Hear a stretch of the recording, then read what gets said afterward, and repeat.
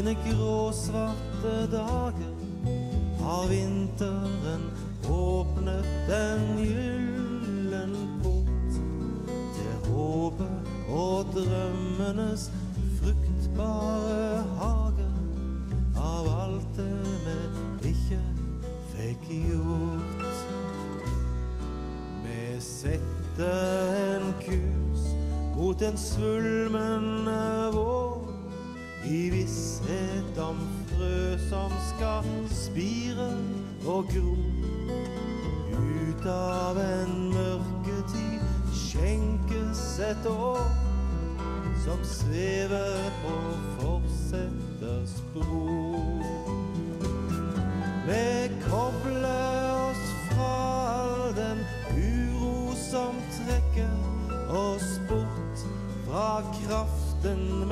vet at vi har. Strekker oss ut, ja, nå er vi snart vekke. Et nytt liv blir til i januar.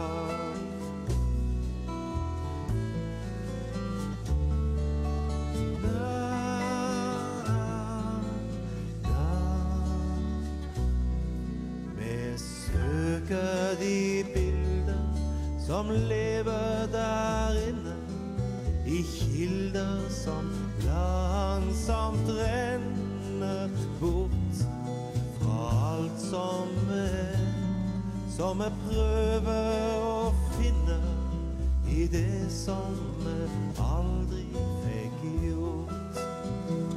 Så vi fyller opp vårt liv fra den dypeste åren og hjemme en smerte og bunn av et smil som løfter oss inn i det nye året og varer omtrent til april.